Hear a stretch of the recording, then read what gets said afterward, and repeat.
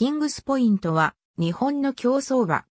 流星の貴公子と呼ばれ、人気を博した1977年の中央競馬年度代表馬、テンポイントの全弟として期待されながら、平地競争では一生のみに終わったが、障害競争に転向後素質が開花し、1982年に春秋の中山大障害を連覇。同年の優秀賞最優秀障害馬に選出された。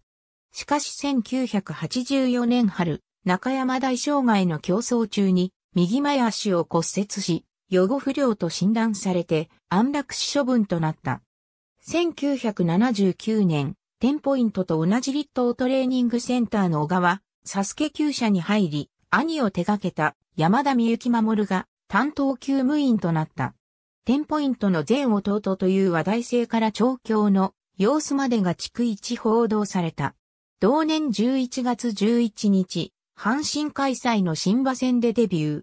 兄の主戦騎手だった鹿戸明が手綱を取り、当日一番人気に支持された。しかし、ずぶくて、ついていくのが精一杯というレースで3着と敗れた。入着を繰り返した後6戦目に初勝利を挙げたが、平地ではこの一勝のみに終わった。平地の成績に見切りをつけた陣営は、キングスポイントを障害競争に転向させる。新たな安城には当時障害で頭角を表し始めていた小島貞弘が据えられた。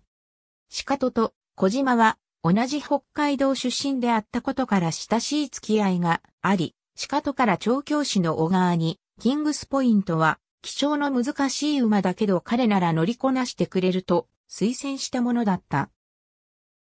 しかしキングスポイントは、当初の障害飛び越しでも気の悪さを見せ、犯行の連続。飛び越し拒否は当たり前。ジョッキーを困らせるために障害物に対して射費を再三繰り返したという。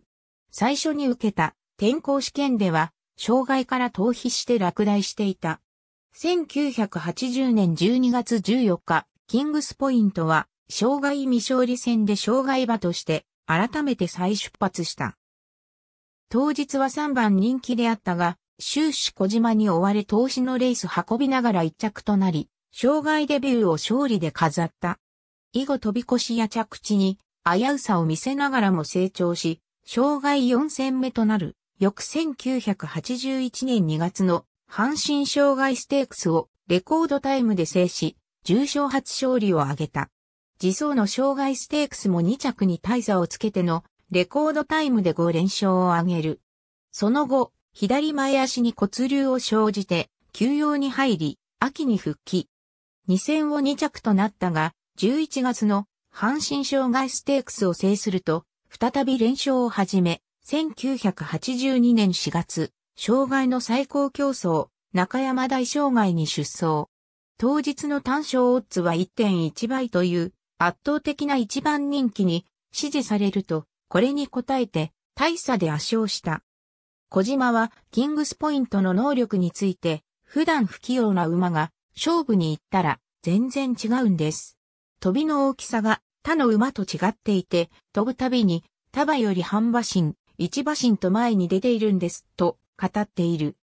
中山大障害の後は休養に入り、秋は大障害連覇を目標としたが、障害の一般戦では重い筋量を課されるため、これを嫌って平地の重賞である京都大賞店から復帰した。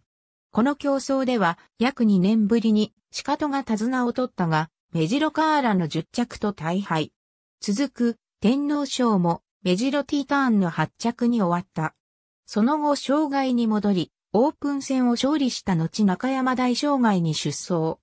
春と同じく1.1倍の一番人気に押されると2着に8馬審査をつけて春秋連覇を達成した。その後、左膝を骨折して長期休養し、約11ヶ月後に復帰。初戦のオープン戦では勝利を挙げたが、連覇を目指した中山大障害は4着に終わった。さらに、内臓疾患のため再び休養。3月のオープン戦で復帰し、これを制した後、4月8日に中山大障害に出走した。当日は一番人気に支持されたが、競争中、水郷障害の板に右足を打ちつけて骨折を生じ、競争を中止。競争後、右側根粉砕骨折により、予後不良と診断され、安楽死の措置が取られた。兄テンポイントも競争中の事故による骨折と、そこから生じた低用炎による闘病を経て死亡しており、それに続く不慮の死となった。タイムランの R は、レコード価値を示す。競争名の S は、ステークスの略。太字の競争は八大競争。斤量の単位は、キログラム。ありがとうございます。